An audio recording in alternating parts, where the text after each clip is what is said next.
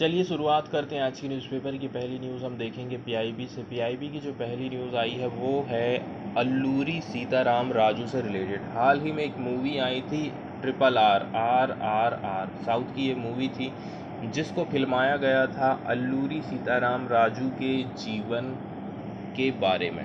ठीक है? अंग्रेज़ों से इन्होंने कड़ा लोहा लिया था। किस प्रकार से इनका जीवन परिचय रहा? कैसे करके इन्होंने एक संगठन बनाया और अंग्रेज़ों के साथ लड़ाई लड़ी आज़ादी के लिए। इसके बारे में ये मूवी हमें बताती है। इनके बारे में हम कुछ हिस्टोरिकल चीज़ें जान लेते हैं। तो आज का जो हमारा मेन फोकस है वो है अल्लूरी सीताराम राजू के ऊपर। इनका जन्म हुआ था चार जुलाई अठारह को मोगालू गाँव में। ये पड़ता है भीमा राव के पास आंध्र प्रदेश में। शिक्षा की बात करें तो इन्होंने प्राइमरी स्कूल अपने गाँव के पास से किया। इसके बाद विशाखापट्टनम ये चले गए और पंद्रह साल की उम्र में हाई स्कूल करने और यूनिवर्सिटी एजुकेशन करने के लिए विशाखापट्टनम गए थे। ये आखिर फ़ेमस किस चीज़ के लिए रहे थे? तो इनको रामपा रिवेलियन के लिए जाना जाता है, ठीक है? इसके अंतर्गत अंग्रेज़ों से लड़ने के लिए उन्होंने आदिवासी लोगों को विशाखापट्टनम और ईस्ट गोदावरी डिस्ट्रिक्ट के लोगों को संगठित किया, एक संगठन बनाया। इन्होंने इंस्पिरेशन लिया था बंगाल के क्रांतिकारियों से, ठीक है? तो रामपा रिवोल्यूट संगठन ने 1922 से लेकर के 1924 के बीच में लड़ाई लड़ी थी अंग्रेज़ों के खिलाफ। उन्होंने पुलिस स्टेशन पर धावा बोला। कई सारे ब्रिटिश लोगों की इन्होंने हत्या करी ऑफिसर भी इसमें शामिल थे और हथियारों की इन्होंने वहाँ से चोरी किया, ताकि ये जो लड़ाई लड़ रहे हैं उसको और भी ज़्यादा मजबूती मिल सके, उनके पास एमुनेशन हथियार वगैरह हो सके। फिर आता है अठारह सौ बयासी का मद्रास फॉरेक्ट एक्ट। अंग्रेज़ों ने ये कानून लाया था ताकि आदिवासी लोग जो ट्रेडिशनल मेथड से खेती करते हैं, उस मेथड से वो खेती ना कर सकें।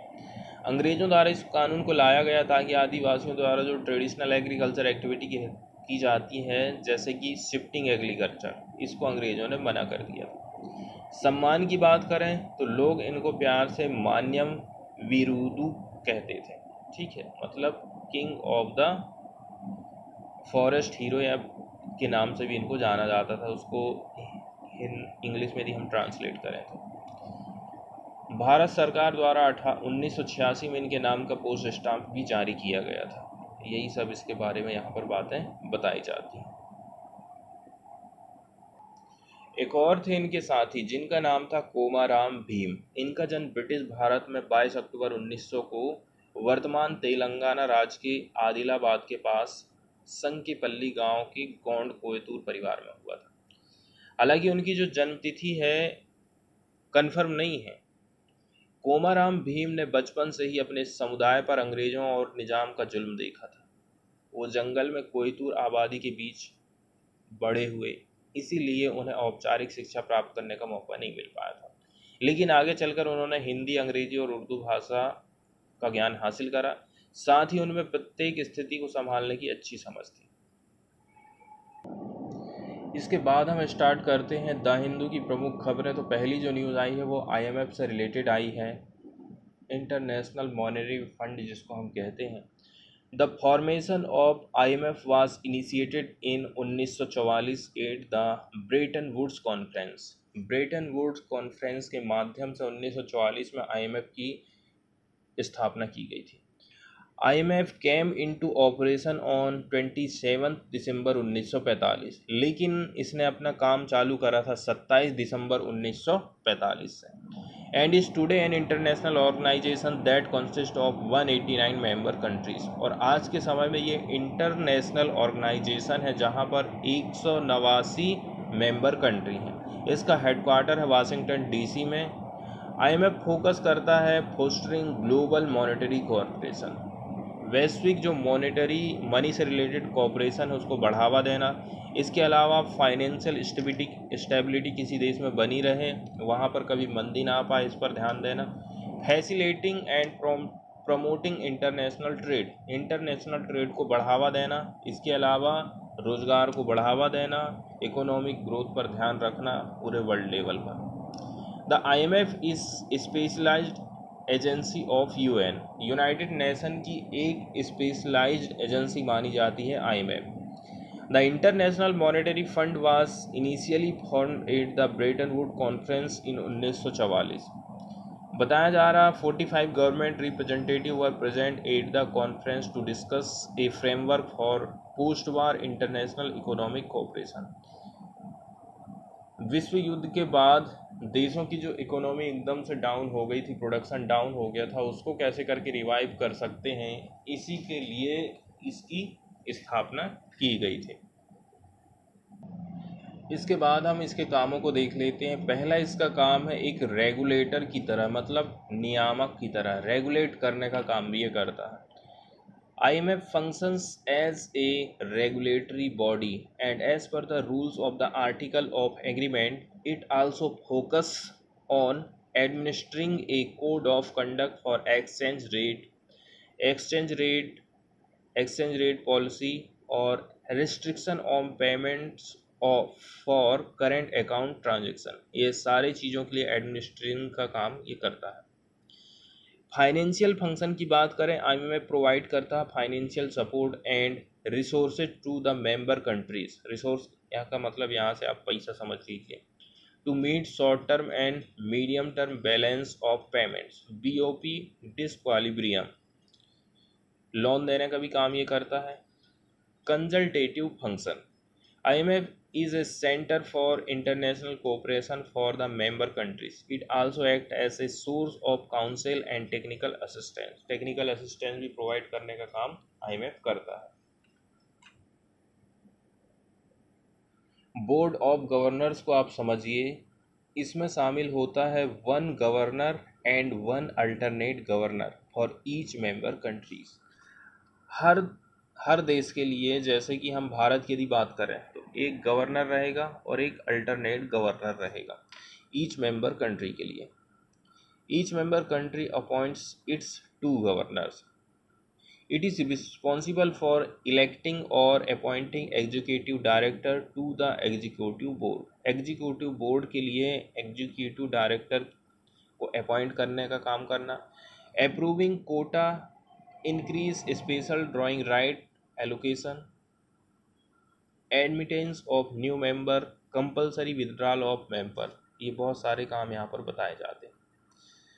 Amendment to the article of agreement and bylaws board of governor is advise by two ministerial committee the International Monetary and Financial Committee and the Development Committee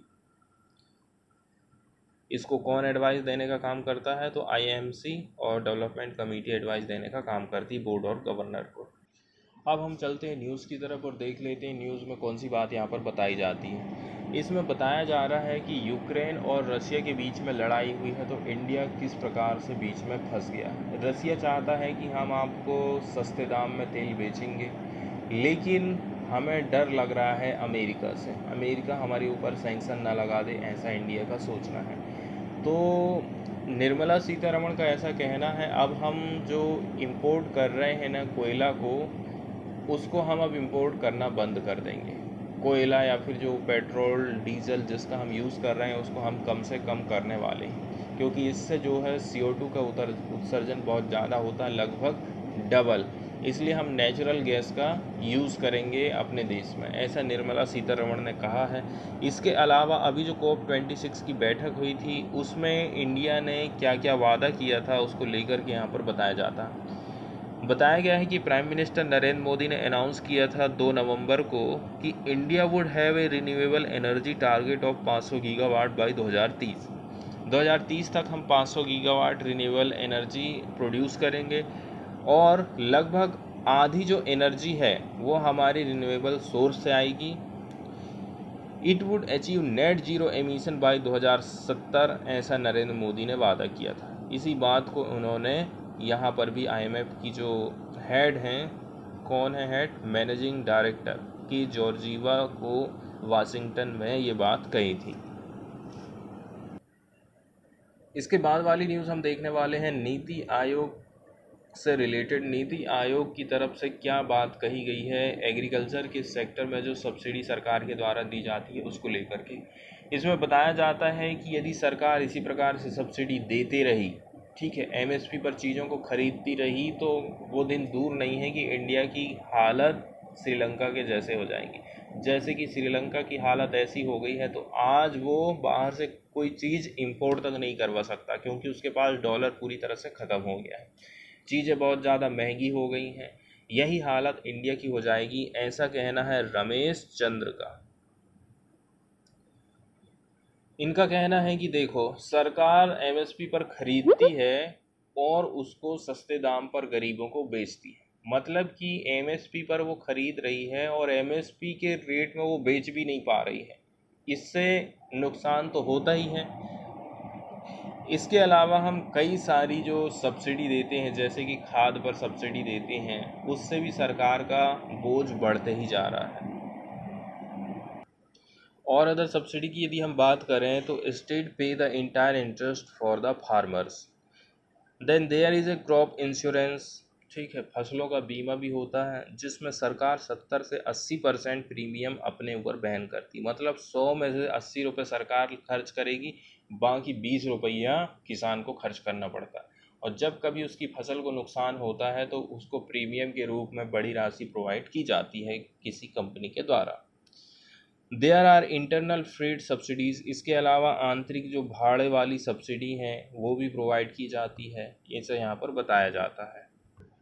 यहाँ पर हम देखने वाले हैं प्लानिंग कमीशन योजना आयोग और नीति आयोग में मेन मेन डिफरेंस को, ठीक है?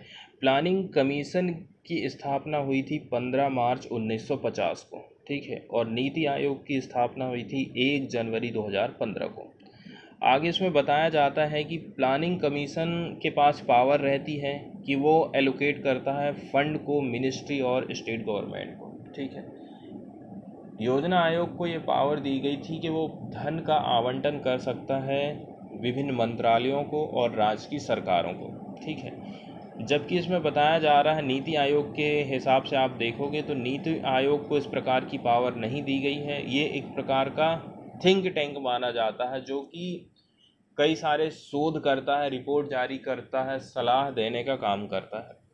Perform the function of allocation of fund.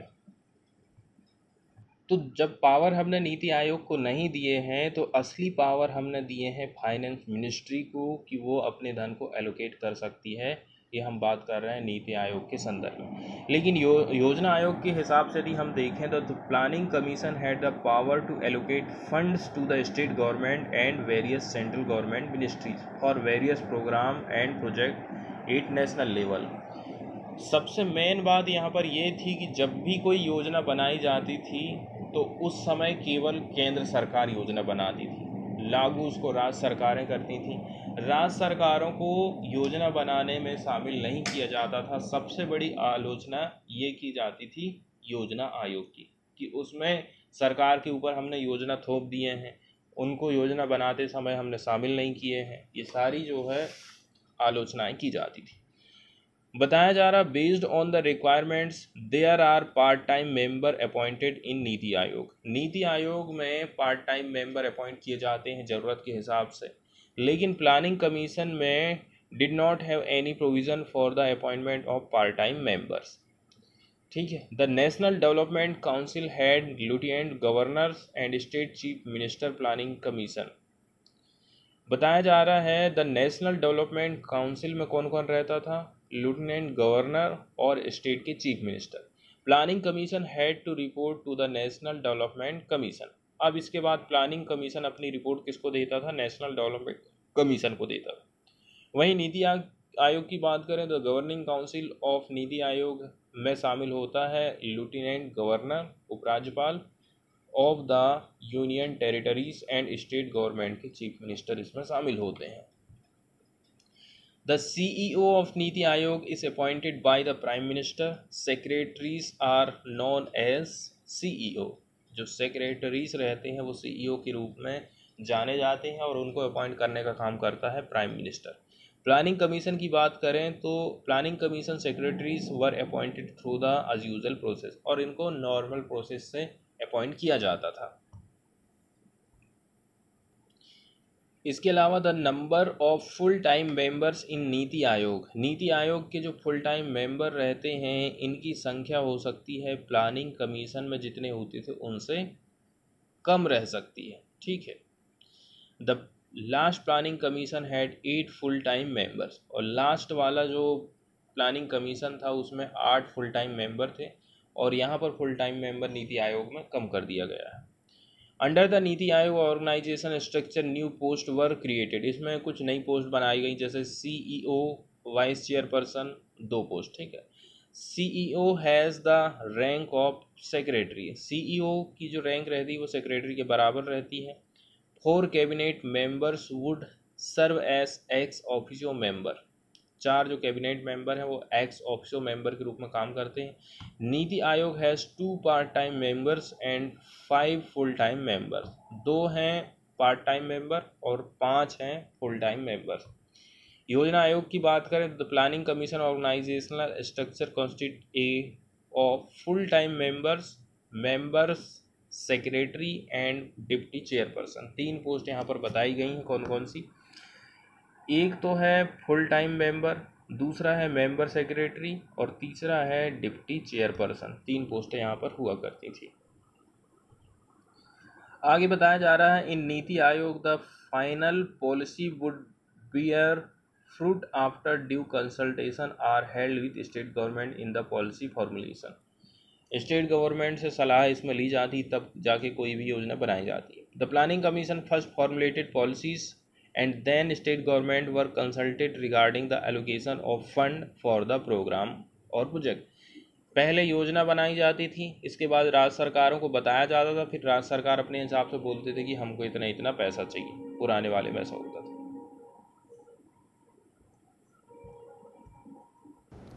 इसके बाद वाली न्यूज़ हम देखने वाले हैं श्रीलंका से। श्रीलंका में किस प्रकार राजनीतिक हलचल चल रही है, उसको ये आर्टिकल बताता है। इसमें बताया जा रहा है कि पहले सरकार ने एक कानून लाई थी, जिसके माध्यम से राष्ट्रपति को ज़्यादा पावर दे दी गई थी। अब वो पावर को फिर से सरकार वापस ले रही है, क्योंकि जो विरोध प्रदर्शन हो रहा है, उसमें एक रीज़न विरोध का ये भी है। ठीक है? एक तो महँगाई के कारण लोग जा, बहुत ज़्यादा प्रदर्शन कर रहे हैं झड़प हिंसाएँ हो रही हैं। लेकिन एक जो रीज़न ये भी था कि जो चुनी हुई सरकार होती है उसका जो हेड रहता है प्राइम मिनिस्टर उसकी पावर कम कर दी गई थी ठीक है? उसी को यहाँ फिर से रीसेटल करने की बात करी जाती है। बताया जा रहा है श्रीलंका के प्राइम मिनिस्टर हैं महिंदा राजपक्सा। इन्होंने ट्यूसडे के दिन प्रपोज किया है कि हम रिस्टोर करेंगे लेजिस्लेशन को। That clips the president executive powers मतलब कि ये जो विधेयक आने वाला है, ये प्रेसिडेंट की जो एग्जीक्यूटिव पावर है, इसको क्लिप्स करने का काम करेगा, काटने का काम करेगा। In turn empowers the prime minister और प्राइम मिनिस्टर को ताकतवर ये बनाएगा। And parliament as a short term solution to the country's crippling economic crisis इसके अलावा कुछ शॉर्ट टर्म भी उपाय यहाँ पर किए जाएँगे इकोनॉमिक क्राइसिस जो चल रहा है उससे बचने के लिए। The move comes at a time when president Gotabaya Rajapaksa M P M Mahinda face unprecedented public anger and criticism आज के समय में, में दोनों को ठीक है गोटाबाया राजपक्सा कौन है?